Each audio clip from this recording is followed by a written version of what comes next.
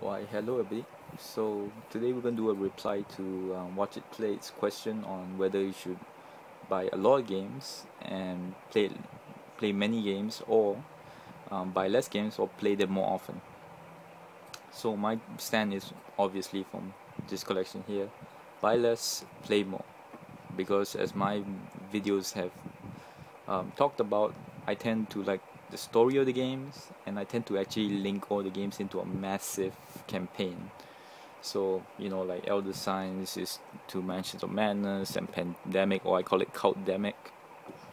And the whole series is all linked one way or another. Um, and it adds a lot more depth, and people get really involved in the stories. Like for me, I rename all the characters uniquely, and to give a story on that, actually one person actually stopped playing um, Mansions of Madness because his main character from the you know Link campaign, who lasted for so long, had basically got killed off, and he just couldn't take it anymore, and so he had to you know he's he's taking time to grieve that character, and so you can see, so to me it's more important about the story you to get into the team and the best part is that when you play the game so often you can explore the deeper side of the game.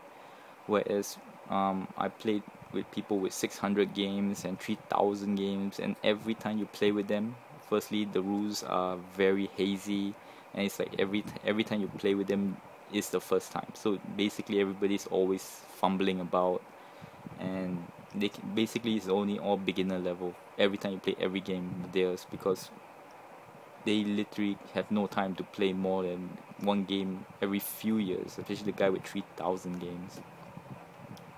So for me you know that's it. Um, I basically will always say buy less play more and basically buy the best that you feel of the genre. Like for me Carcassonne best tile laying game out there right now I very easy to carry around too. Simple mechanic, you know, cooperative games. Uh, for me, buy the one, the theme you like, it the best type, and just play with it, link it all together, and it's timeless.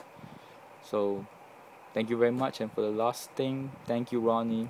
Always great videos and always very inspiring to have another hobbyist as genuine as you. Thank you. Till next word.